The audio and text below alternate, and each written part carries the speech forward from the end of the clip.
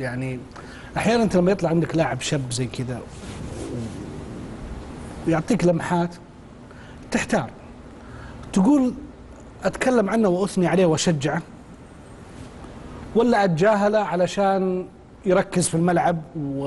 وما ينغر وما يلتفت لأشياء برا وش ال... وش الطريقة الأمثل للتعامل مع لاعب زي الحمدان ولد ما بقول رجال إن شاء الله بس يعني أتكلم إنه إمكانياته مشروع مهاجم اي واضح إن إنه اشتغل على نفسه كويس. يعني الهدف ال- اللي سجله عبد الفتاح حسيري طبعا تمام. الالتفات السريعة وهو قاعد يجري ورمى الكورة قدام عبد الفتاح مو على نفس الخط. في لمسات يعني. إيش الطريقة الأمثل للتعامل معاه؟ اعلاميا اعلاميا ما حدا بيقدر يسيطر على الإعلام السعودي في مسألة كرة القدم الصراحة. يعني يكون راس مالها تصير مباراة مع النصر ولا الهلال ويصير حركة مع خلص حيتم استهدافه لمدة سنة ما نخدعش نفسنا يعني في الموضوع. لكن لكن أنا عجبني فيه من هون الرجل ذهنيا قوي يعني رجل ضيع ركلة جزاء في أول فرصة بالشوط الثاني هو اللي قاتل عليها مرتين ورجع انفرد وحاول يختمها بطريقة جميلة.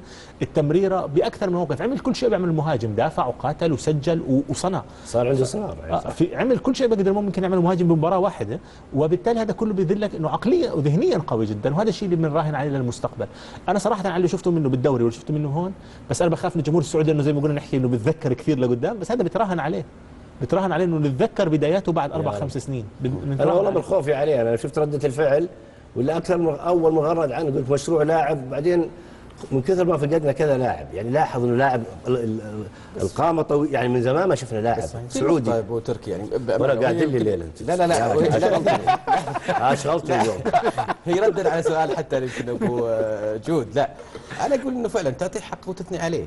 لأنه حتى بعض اللاعبين ترى يكون في عمر ال 27 سنة و 26 سنة تبدر منهم تصرفات صح ولا لا؟ تبين لك إنه عقلية اللاعب ما هي عقلية احترافية صح ولا لا؟ ممكن يأثر عليه نقد يا أخي ودي أحد. يعطيني بصراحة والله العظيم ودي أخ... ودي أحد يجيب لي ذا الكتاب حق العقلية الاحترافية. كل ما جاء واحد قال لك والله ما عنده عقلية احترافية. طب وش تعرف العقلية الاحترافية؟ ما أدري. لا هو شوف. ويجي واحد يقول لك والله هذا الرجل ما عنده مهنيه وين ذا الكتاب ناخذه نقريه للناس ونقراه عشان نتفق عليه كلنا. يعني ما أعرف أنا وش المهنيه أنا ودي اكتشفت في الأخير يعني أنا- اللي وصلت له إن تقول على كيفي أنت محترم. أنا أنا ما تقول على كيفي أنت أنا من محترم. يعني لا، لا، مو من خبره. أو من, من. يعني خبره متواضعة. يعني أقول ترجع لعقلية اللاعب.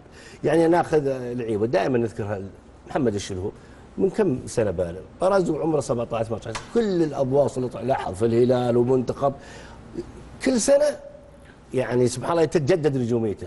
ترجع لعقلية اللاعب والبيئة اللي حوله ال- البيت ال- ال- زملائه بس اللاعب 70% فكرة إذا أراد يستمر طبيعي اللاعب يلعب في مسرح ويجي اضواء لا، محمد نور. يعني مو بس محمد الشلوب ماجد أجيال ماجد عبد الله صالح النعيمه آه، نتكلم حيس الجمعان فهد الهريفي. مروا بهال ال- تسليط الأضواء عليهم لكنهم استمروا. الاستمرارية ترجع لعقلية اللاعب وإنه هذا لازل في بداية المشوار.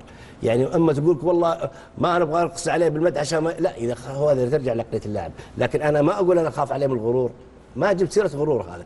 لأن الغرور هذا راجع لنفسه وشخصية تفكيره على تطوير مهاراته. لا يستمر على أني أنا كذا لاعب وصلت للنجومية. لسه توك في أول السلم. لا وفي نقطة يعني تركي بس بنتكلم عن العقلية الاحترافية. أنا أعتقد أنها يعني تعريفها سهل جدا. هي تنطبق على كل اللاعبين على أنت كمذيع على كل واحد في مهنته.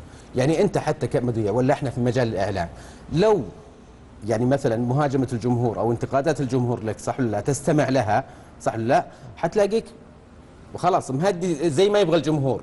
وفي بعض أو إنك تكون ضدهم صح ولا لا؟ في أيضا بعضهم ينجرف مع المديح مديح الجماهير صح ولا في أي سلوك معين أوه. ويستمر فهي هذه العقلية ال- ال- الاحترافية في العمل سواء الإعلامي سواء الرياضي. إحنا نتكلم هنا عن عقليته الرياضية.